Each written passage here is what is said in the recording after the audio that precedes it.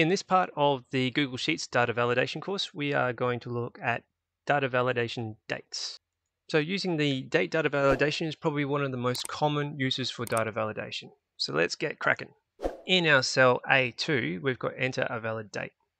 Over here with our data validation, we can put in our date here. So let's try today's date, which is the 23rd of Jan 2021.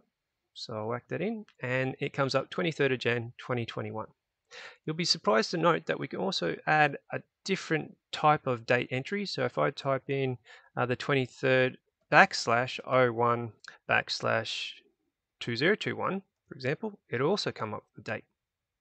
If I type in the 12th of March 21, it'll come up for the date. Or if I type in something like 01 dash 01 dash 2001, it'll also come up with the date. Funnily enough, it keeps converting back to a number and then the month as a three letter character code and then the year as a whole four digit number. Why is it doing this? Simply because we've changed the format. So if we click on here, I went to format, I went down to numbers, all the way down to more formats and, and selected more dates and time formats. And as you can see here, I've got day, month, and year.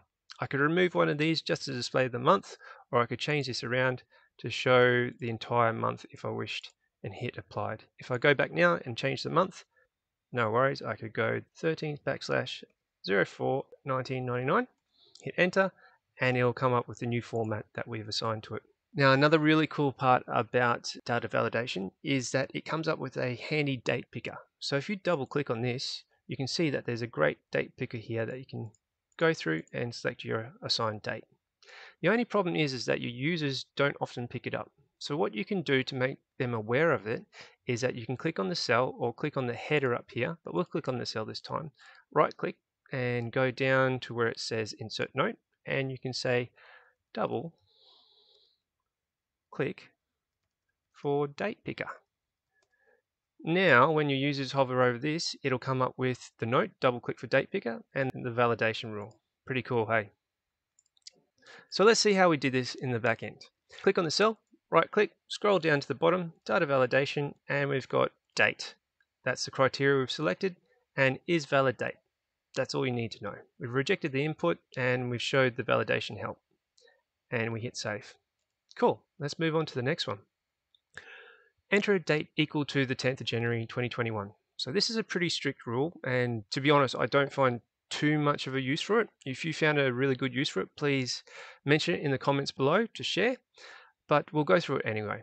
For the 10th of January 2021, if I type in a different format, so 10th 01 21, that comes up with our desired format, which we must have formatted earlier. If I type in something different, so if I type in uh, 09 Feb 2020, it'll come up with the error because it's obviously not equal to 10th of January 2021.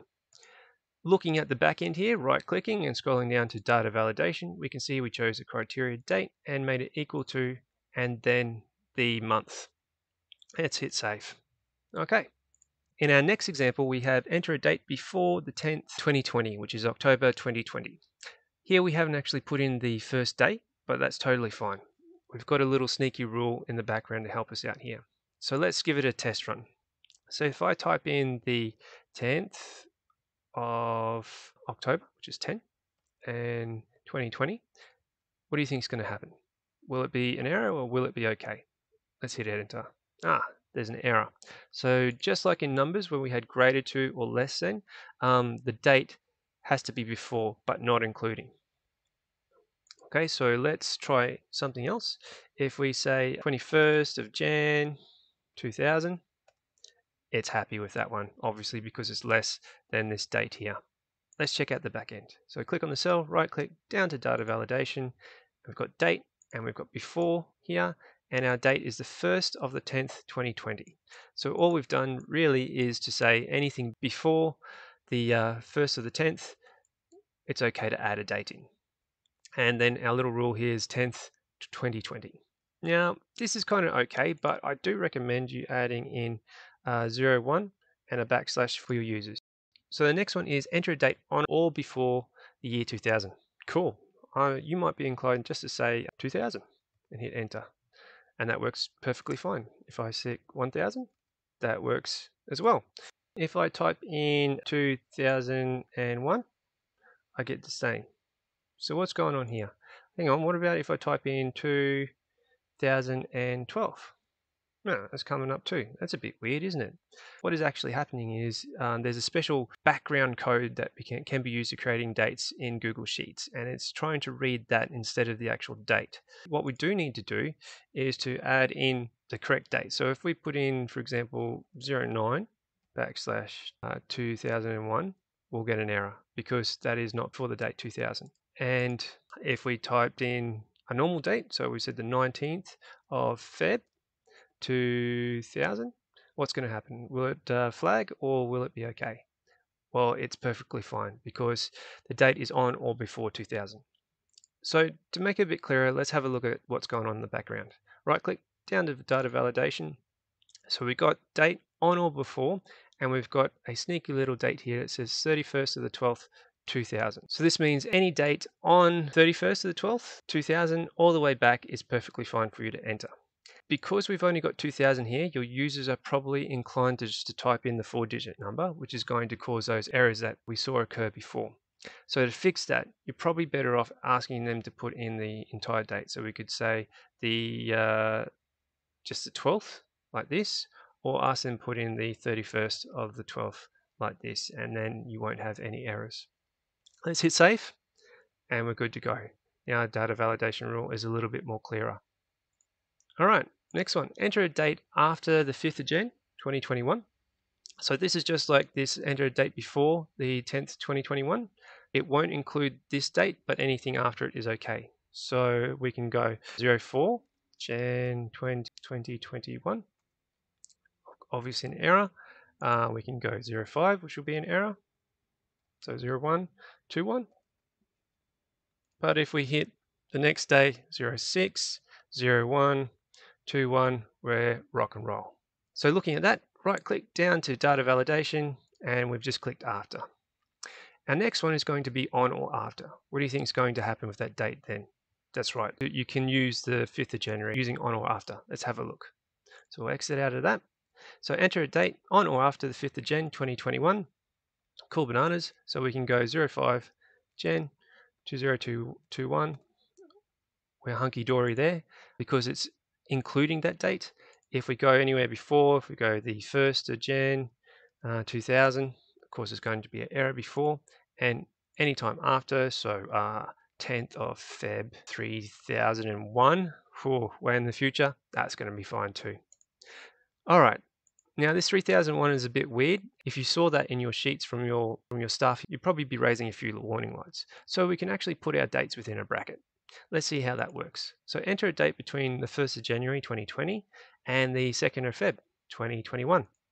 We can do that. Do you think that's going to include the 1st of January or do you think it won't include it?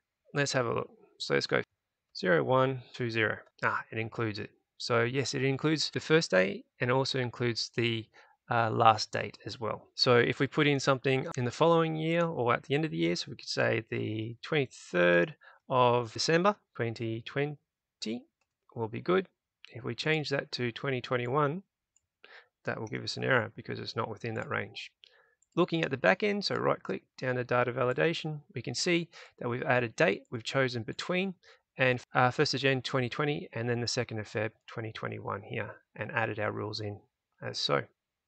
One good thing to note from all these, not only does the enter valid date have the date picker, but all these other ones do as well. So if I double click on this, your users can still pick a date within that range. Cool, moving on. Obviously the antithesis of date between is not between. And so if we put uh, anything not between that date, so if we said 2nd of Jan, because we're bad boys 2020, we're going to get in trouble again because it's not the correct date. But if we put in something like the 31st of December 2019, then it will happily accept the date because it's not between that range. Finally, our last thing to double check, we'll scroll down, data validation, and we've just chosen not between and selected our dates here.